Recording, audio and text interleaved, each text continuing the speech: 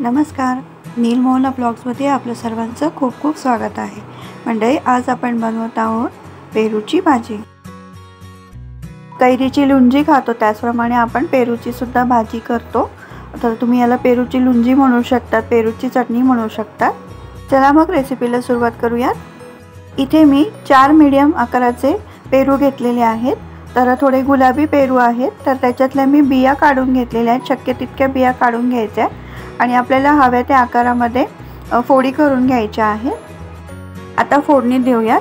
तर एका कढईमध्ये दोन ते तीन मोठे चमचे तेल घेतलेले त्यामध्ये अर्धा चमचा मोहरी घेतली आहे. मोहरी छान तडतडली की त्यामध्ये अर्धा चमचा जिरं टाकायचं आहे. आणि थोडं हिंग टाकायचं आहे पाव चमचा. पाव चमचा हळद टाकायची आहे.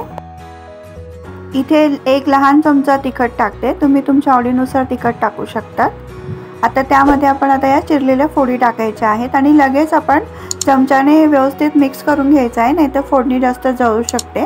किंवा तुम्ही चमचाभर पाणी टाकू शकतात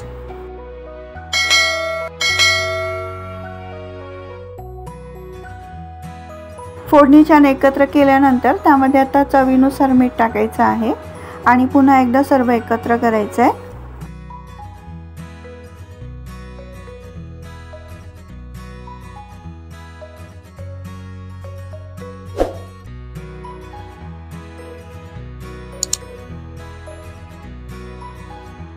आता दोन ते तीन चमचे आपण छोटे चमचे भरून पाणी टाकायचं आहे. आणि थोडं झाकण लावून पाच मिनटं वाफ भरू द्यायचे आहे. आता पाच मिनटं छान वाफ भरून आली आहे. आता आपण त्यामध्ये गूळ टाकूयात. तर गूळ तुमच्या आवडीनुसार तुम्ही टाकू शकता किती आंबट किंवा गोड हवं आहे. मी इथे एक वाटी गूळ टाकत आहे. गूळ टाकल्यानंतर थोडं मिश्रण मिक्स करायचं आहे आणि पाच मिनटं वाफेवर ठेवायचं आहे झाकण ठेवून. तर बघा अशा पद्धतीने त्याला पाणी सुटलेलं आहे. आता यामध्ये मी थोडी बडीशोप टाकत आहे पाव चमचा. थोडी ठेचून टाकते म्हणजे त्याचा अर्क उतरतो चांगला.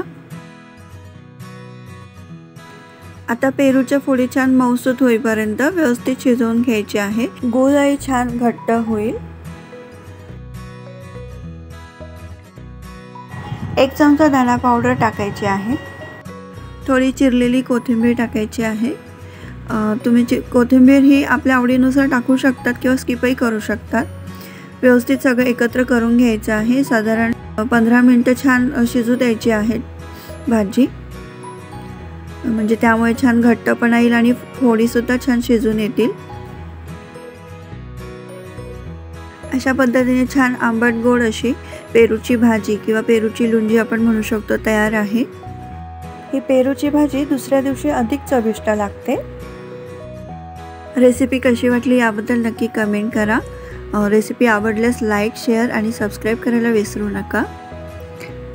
तुमचा असंच फीडबॅक आम्हाला खूप प्रोत्साहन देतं.